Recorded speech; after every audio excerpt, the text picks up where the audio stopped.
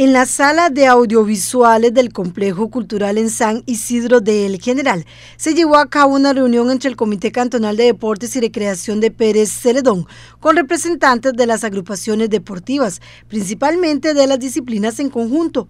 Esto con el fin de que si hay varios grupos en una misma disciplina, se tiene que llevar a cabo un proceso eliminatorio. Donde hemos citado a los representantes de organizaciones deportivas que han presentado la intención de participación en la etapa cantonal. Eh, para nosotros como comité cantonal ya inició el proceso de Juegos Nacionales 2022-2023 y aunque la final de Juegos Nacionales va a ser en el mes de enero de 2023, ya nosotros empezamos con ese proceso.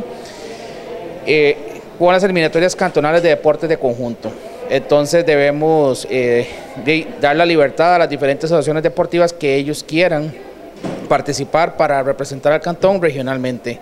Entonces, pues el día de hoy está representantes del voleibol, de sala y playa, el balonmano, eh, fútbol sala en ambos géneros, eh, fútbol también ambos géneros y eh, está um, básquet.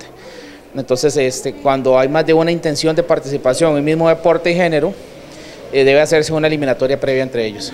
Entonces ahorita vamos eh, ya en presencia de todos, eh, cuando las eliminatorias correspondientes se van a definir las fechas, eh, las sedes y para ver quién va a ser el representante de, de cada organización o cada disciplina. Si solo hay una agrupación en el caso de una disciplina deportiva, automáticamente sería la que represente el cantón. Solo hay una intención de participación en una, como dice usted, ya queda clasificado para la etapa regional. Esa, tal vez por qué tan rápido. Nosotros tenemos que tener el informe presentado de las eliminatorias cantonales el primero de julio.